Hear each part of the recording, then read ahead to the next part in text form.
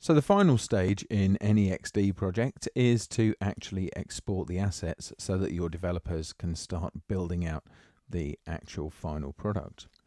You can export in a few different ways. So if I wanted to export the artboards, for example, then I could select either an individual artboard by clicking on the name or dragging around to select a range of artboards. You can, of course, use Shift if you want discontiguous uh, artboards there to select those. But if I just grab the whole lot just here and then do Command E for export, which is also available in the file menu, I can then choose where they're going to go and they'll be exported. Now we'll come to these controls in just a little bit, but these are going to come out as PNGs. So I just choose export just here and then pop you out to the Finder where we can have a look at what's in the folder now. So these have all exported as PNGs, you can see that, and I've got them at the original size and two up as well. They've taken on the artboard names as part of the file name just there. So I'm just going to remove those just for the minute, so just delete those out of there. And now I'm going to come down to exporting individual objects. So down at the bottom here, I've got two items. There's a text frame there and a rectangle behind it. So if I now just choose export with both of those selected, and I'll just carry on just there, pop back to the Finder so you can see what's happened there. It's actually exported those things individually.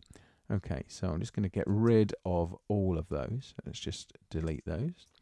And I'll come back and this time I will group them. So now I've got the two things together. I've just done Command G to group them.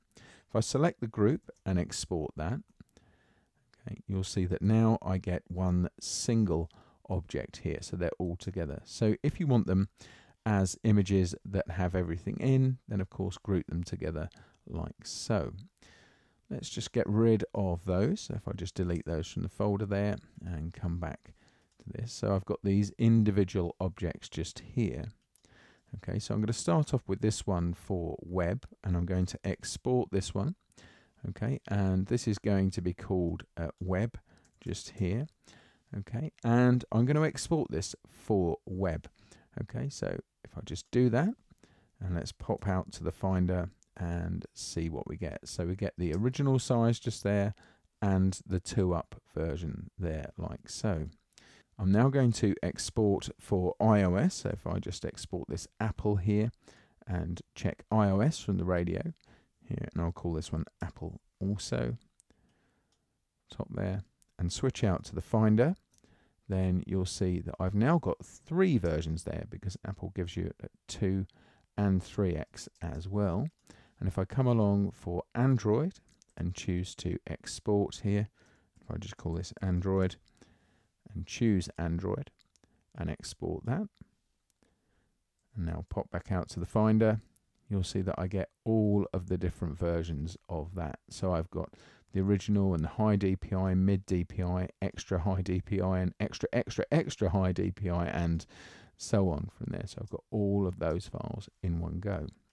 I do have one further option here. So if I select these three items and then choose to export, and this time rather than the PNG, if I export as SVG, okay, I'm just going to have any images that are in there embedded, although you could have them linked out as well. And I'm going to get them to be optimized as well. I'll just pop that back to web. Not that it really matters for SVG, but if I just choose that and pop back out to the Finder, you'll now see that I have all of my SVG files in here individually. So here's Group 4, SVG, you just get the 1.